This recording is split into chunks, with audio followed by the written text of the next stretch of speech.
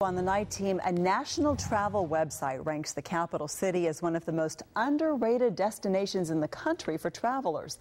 The night team's Damani Lewis talked to tourists to see if they think the capital city is worthy of that title. From the romantic hand-holding in beautiful old Sacramento to the leisurely strolls along the Sacramento River, it's picturesque images like these that have tourists heading to the capital city. There's quite a lot to do here. It's pretty family oriented. We had friends that said, "Oh, what do you want to stay three nights in Sacramento for? You know, you can go to the Bay Area, you can do this, you can do that." And what'd you tell them?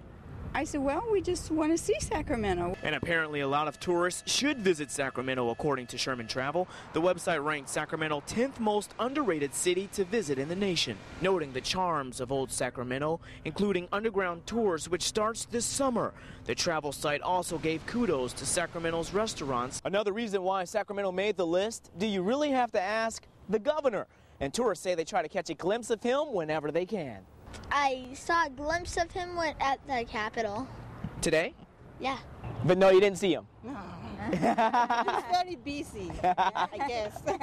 For people like Las Vegas resident Lisa Vishai, she says Sacramento is the escape from Sin City she has been looking for. All the art, mm-hmm. walking side, everything, I like it. And you like the fact that there are no, no casinos around? Yeah, I'm trying to get away from casino. for Santa Barbara resident Keith Liberto, he admits there's one thing he doesn't care for about Sacramento. But I am a Spurs fan, so I don't like uh, the Kings very much. In Sacramento, Damani Lewis, KCRA 3, 19.